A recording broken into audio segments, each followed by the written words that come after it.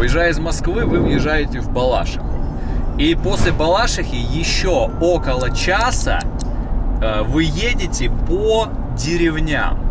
То есть ни о каких скоростных трассах здесь речи не идет.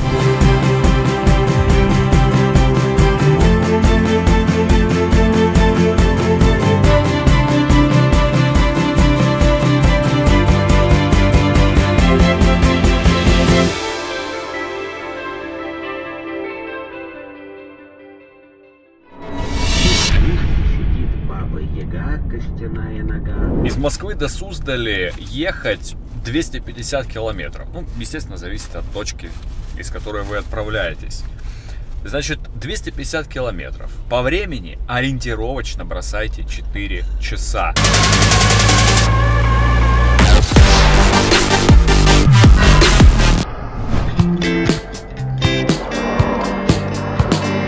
Суздаль находится в 36 километрах от Владимира по трассе Москва-Нижний Новгород. Также из Москвы ездят регулярно прямые автобусы, дорога на которых у вас займет около 4 часов. Город очень небольшой, в нем, конечно же, есть отели и многие сдают жилье в аренду. Но часто количество туристов очень большое и хорошие варианты разобраны. Поэтому я настоятельно рекомендую вам бронировать жилье заранее. В городе большое количество уютных ресторанов русской кухни. Многие блюда приготовлены по старорусским рецептам, а также можно оценить и авторские блюда.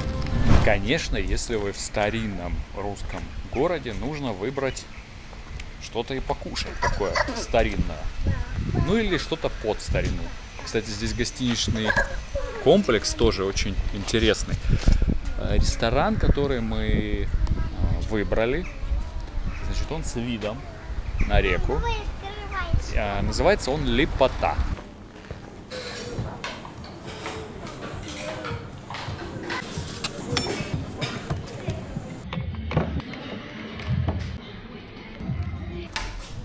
Лепота, ресторан, входит в гостиничный комплекс Лепота. Здесь есть трактир, пушкарь, а, здесь есть винегрет, цены московские.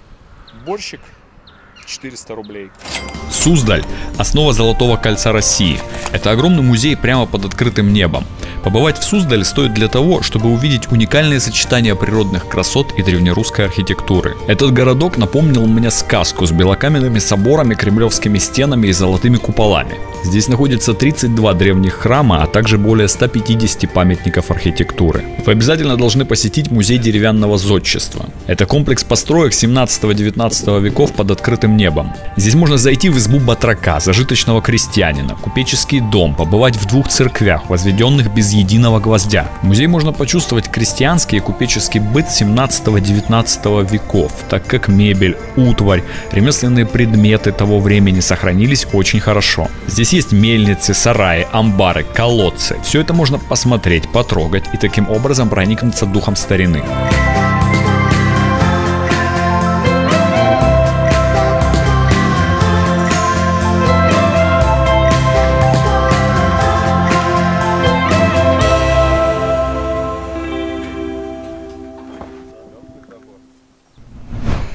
Центре Суздаля вы найдете вот такой гостиный двор. В этом гостином дворе сейчас лавки сувениров, есть кофейни, рестораны, даже паб я видел. Дом льна, сувенирная лавка, ювелирный магазин, так, кафе Сервант, Суздальский пряник. О пряниках суздальских я не знал, а о медовухе знал, пряниках нет. Здесь в центре еще проходят э, ярмарки и продают все подряд. Всякие соленья, маленья, варенье. В центре очень большое количество всяких ресторанчиков, трактирчиков, таких в старинном стиле, пельменные. Давайте быстренько покажу вам номер в отель.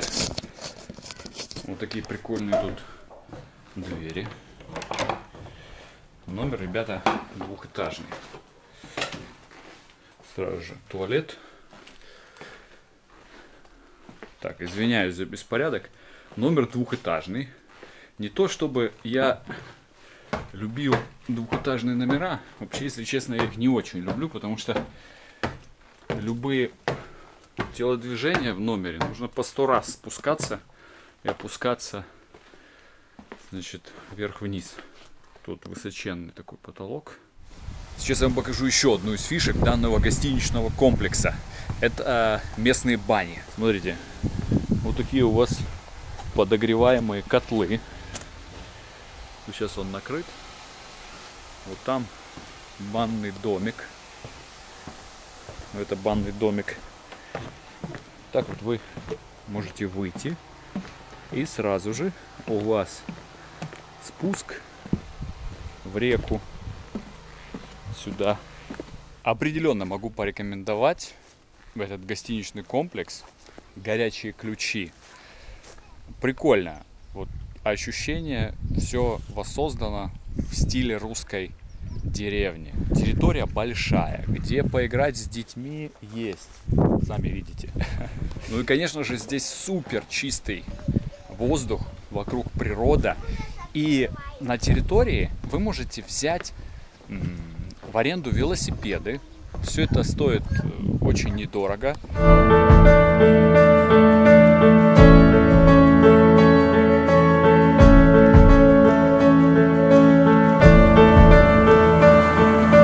Обязательно посетите местные торговые ряды. Так вы окажетесь в атмосфере древнерусской ярмарки. Они находятся на площади, вымощенной булыжником.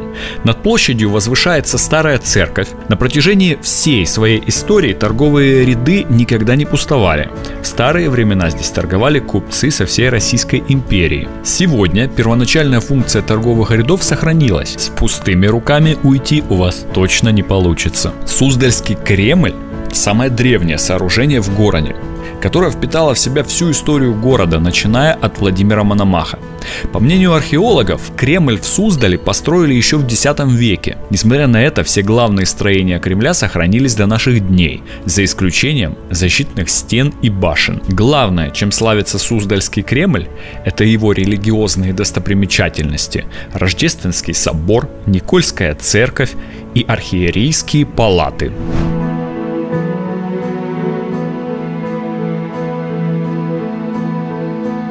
Как тебе цены, на твой взгляд, в Суздале?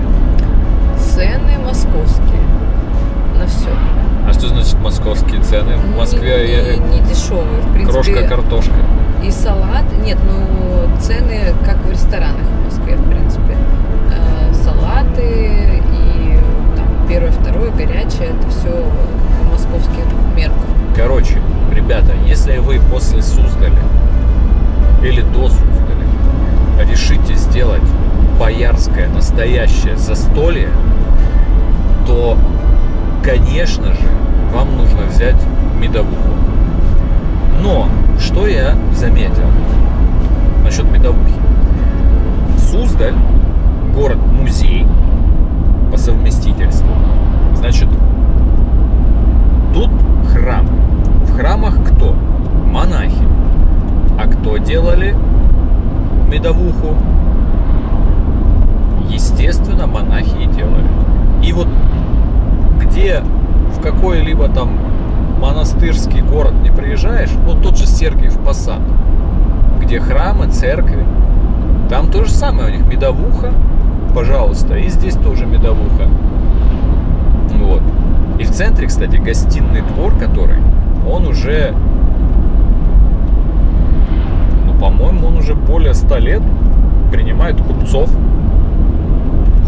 с разных городов России, которые привозят и торгуют всякими явствами там.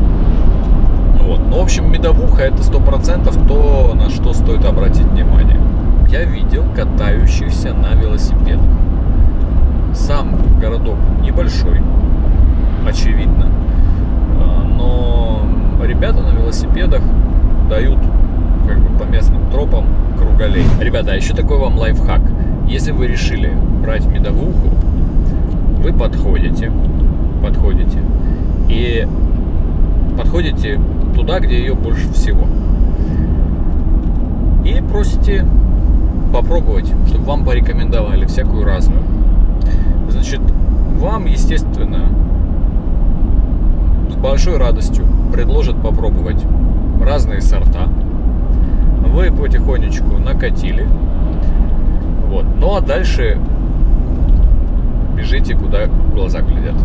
Не, ну на самом деле, уж если попробовали, то возьмите что-нибудь для себя.